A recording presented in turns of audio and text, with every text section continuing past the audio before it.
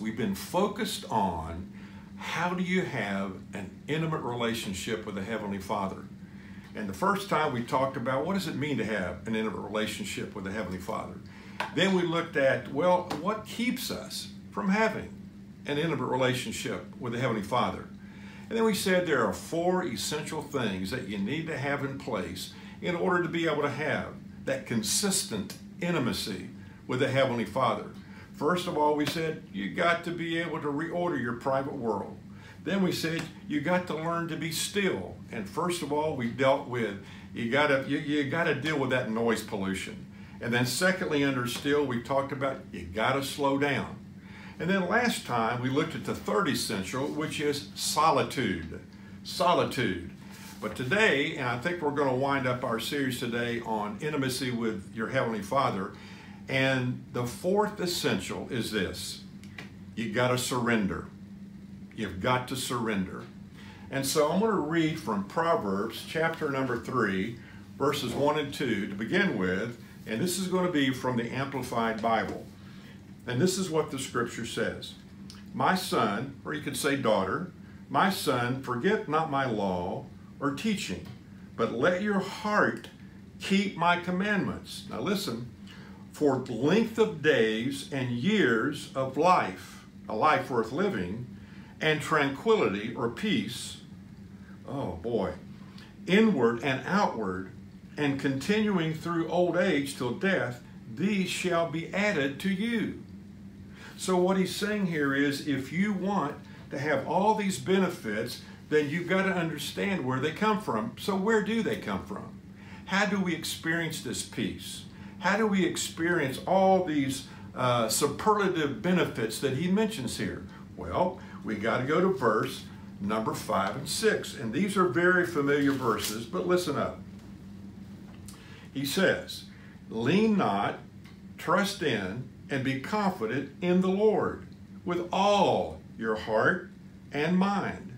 And do not rely on your own insight or understanding. In all your ways, recognize and acknowledge Him. And here's the promise He will direct and make straight and plain your paths. So the question, first of all, is what does it mean to trust the Lord? Let me give you some thoughts on this. It means to throw oneself down on one's face. It means to lie spread eagled uh, on complete reliance. Another one is do a belly flop on God. So, what it means to trust in the Lord is this it means to trust Him with everything that shames you, it means to trust Him with everything that terrifies you, it means to trust Him with everything that holds you back. It means to trust Him with everything or everyone who frustrates you. It means to trust Him with your dreams and your aspirations. Now, if we trust the Lord, as it says in Proverbs chapter number 3, 5 and 6, what will the possible results be if we do that? Let me enumerate these as we close.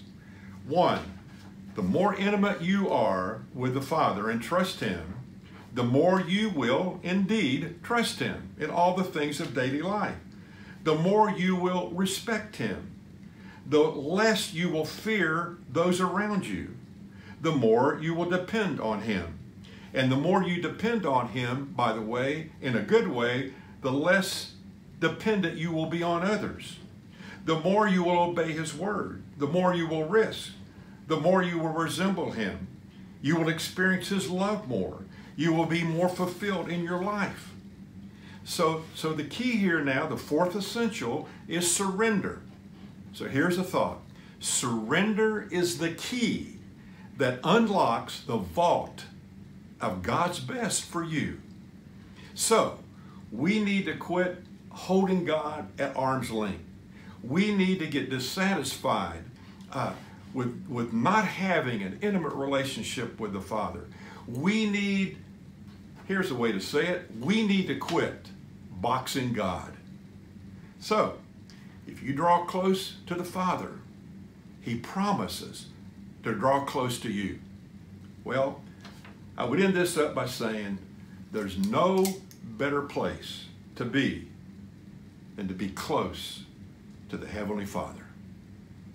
You think about that.